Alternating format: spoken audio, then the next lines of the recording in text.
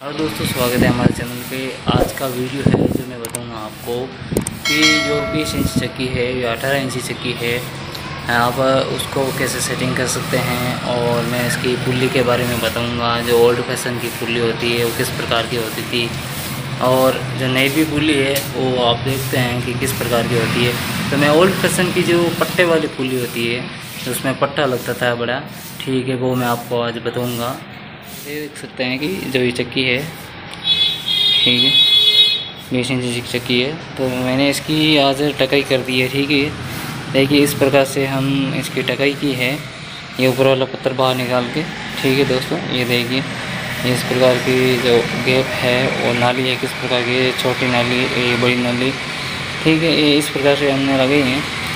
और ये ऊपर वाला पत्थर भी है जो हमने इसकी टकाई कर दी है, मैं भी आपको बता दूँ।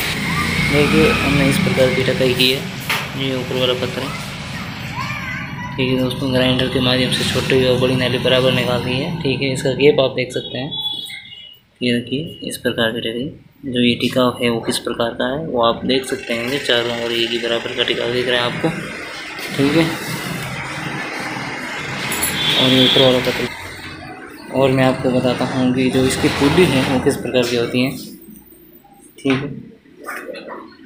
और आप देख सकते हैं जो ओल्ड फैसन की पुली होती थी वो इस प्रकार से होती है।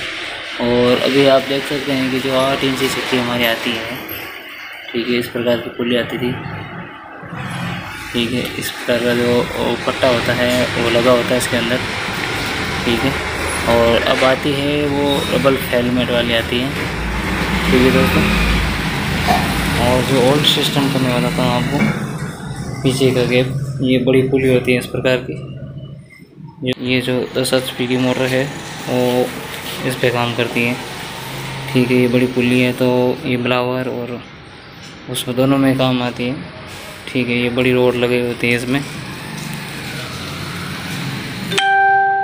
आज हमने इसकी टकई की है तो आप इस प्रकार से टकई कर सकते हैं और इस प्रकार की जो पुली होती हैं और इसका जो लेवल है, वो बराबर रखने के लिए आपको मैं बताऊँगा अभी। ठीक है।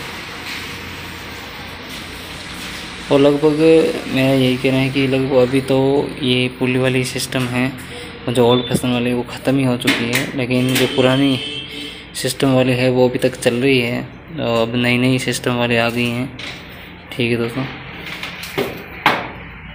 कि जो मैंने ऊपर वाला पत्थर है, वो लगा दिया है। ठीक है, और मैंने ये दाब लगाई है। दाब लगाने के बाद ये जो चारों नट है, वो मैंने बराबर करके, जो ऊपर वाला नट है, वो मैंने फुल टाइट कर है ठीक है। दोस्तों, आप देख सकते हैं कि ये जो पत्थर है ऊपर वाला, ये बिल्कुल थोड़ा है क्योंकि ये घिस गया है, नीचे वाला भी पत्थर है, वो लगभग घस गया है, ठीक है? तो आप देख सकते हैं कि जो मैंने इसकी टकाई अब कर दी है तो अब की बार इसका जो नया पत्थर है, वो लगाएँगे हम। तो दोस्तों, मैं आपको इसका जो नया पत्थर है, वो लगाऊँगा, वो मैं सिस्टम है आपको बताऊँगा, ठीक है? और जो दोस्तों, मैंने एक बीस इंची चक्की का वीडियो डाला हुआ है तो वो आप देख सकते हैं जो उसमें जो मोटर है, वो लगी हुई होती है, ठीक है? तो और ये सिस्टम है जो ओल्ड फ़ैशन का सिस्टम है तो इसमें जो पट्ठा लगा हुआ है। ये देखिए दोस्तों, जो पुराने समय में हमारे जो बोरवेल होती थी, जो बड़े बड़े बोरवेल होते थे, उसमें जो पट्टे वाली इंजन चलता था, उसी प्रकार से ये इंजन का काम आप समझ सकते हैं कि ये इंजन पे जो ये मोटर लगी होती है वहाँ इंजन लगा होता है तो इंजन स्टार्ट करने के बाद ये चक्कियाँ चलती थी पहले। तो अब सिस्टम हो गया है कि अब मोटर लग गई है। तो ये मोटर के कारण ये चल रहा है। अब वो इंजन वाला सिस्टम वो तो बंद हो ही चुका है। ठीक है? दोस्तों, ये देख सकते हैं, इसमें जो थ्री पेज का सिस्टम है। ठीक है दोस्तों? ये थ्री पेज की मोटर है। तो इसमें ये डेल्टा सिस्टम है जो ये स्टार्टर लगा होता है। ठीक है? उसमें राउंड चेंज करने का है सिस्टम तो वो भी एक चेंजर लगा होता है। ये देख सकते हैं आप चेंजर, इस प्रकार का। ये काफ़ी समय से पुराना लगा चेंजर है और ये सिस्टम है, वो सब पुराना सिस्टम है। तो मैंने सोचा कि दोस्तों, आपके साथ मैं शेयर करूँ इस वीडियो को। जो इस प्रकार की चक्कियाँ हैं, वो भी अभी तक चल रही हैं और जो ओल्ड सिस्टम के हिसाब से चल रही है। ठीक है दोस्तों। और मैं आज इस प्रकार की जो ये भी मैं ये पता लगाऊँगा और उसके बाद मैं इसको चालू भी करूँगा, मैं आपको बताऊँगा किस प्रकार से मैं पट्टा लगाता हूँ और इसका राउंड है, वो पट्टे का किस हिसाब से चलता है। ठीक है दोस्तों, मैं भी आपको बताऊँगा और इसको मैं आपको सेट करके भी बताऊँगा जो हमारे यहाँ पट्टे वाली चक्की है, उसको सेट कैसे किया जाता है, वो मैं भी आपको बताऊँगा। तो दोस्तों, मेरा एक ही कहना है कि आप जो पट्टे वाला सिस्टम है, वो मेरे को अच्छा नहीं लगता वो आपको पता नहीं किस प्रकार से अच्छा लगता है या नहीं। पर मेरे हिसाब से वो अच्छा नहीं है। अब सिस्टम है जो पुली वाला, वो फल हेलमेट वाला तो वो ही आप लीजिए, मेरे हिसाब से वो ही बेस्ट होगा। ठीक है, ये देखिए, ये तो काफ़ी पुरानी होगी, जो ये चक्की है, वो काफ़ी पुरानी है। तो ये सिस्टम भी पुराना है। ये इस प्रकार से जो पीछे वाला पट्टा है, ये जो चक्की वाला, ये लगा रहे हैं हम। ठीक है। देखिए, इस प्रकार से हमने पट्टा लगाए हैं इसमें। ठीक है।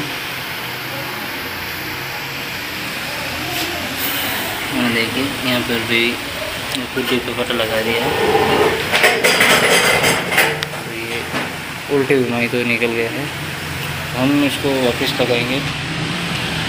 ठीक है, दोस्तों। ठीक। और इस प्रकार से लगाया है। और जो हमारे रिश्तेदार में है हैं। ठीक है। ठीक है दोस्तों, इस प्रकार से हमने जो ये पट्टा लगा दिया। है अब आते हैं चालू करने की बारी। दबाओ जो इस प्रकार से हमारे यहाँ चालू कर रहे हैं।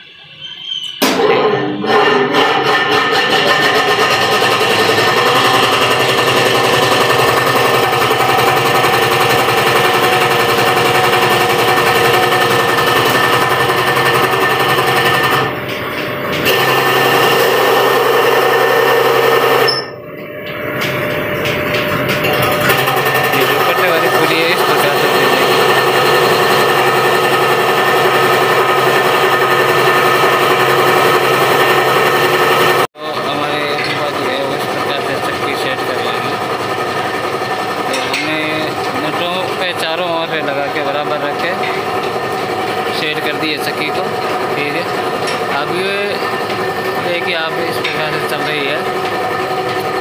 ठीक है?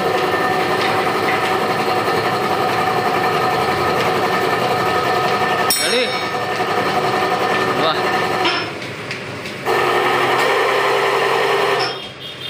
आप देख सकते हैं, इसमें कितनी दाब लगाई जाती है तो भी ये दबने का नाम भी नहीं लेती है। ठीक है आप बंद कर देते हैं। और अब इसका जो साइड कवर है, या चद्दर है, वो लगाते हैं।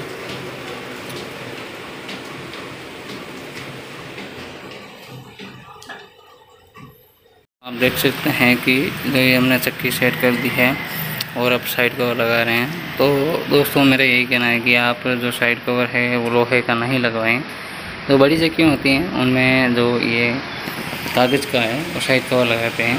कारण क्या होता है कि जो साइड कवर होता है, वो गर्मी ज़्यादा होते हैं अंदर तो उसमें भाप बनती है ज़्यादा।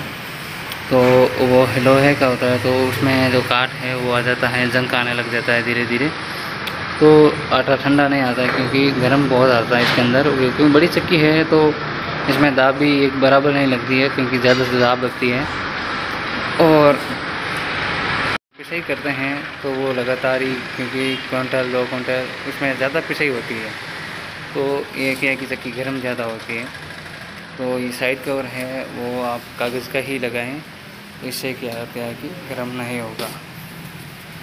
ठीक है दोस्तों?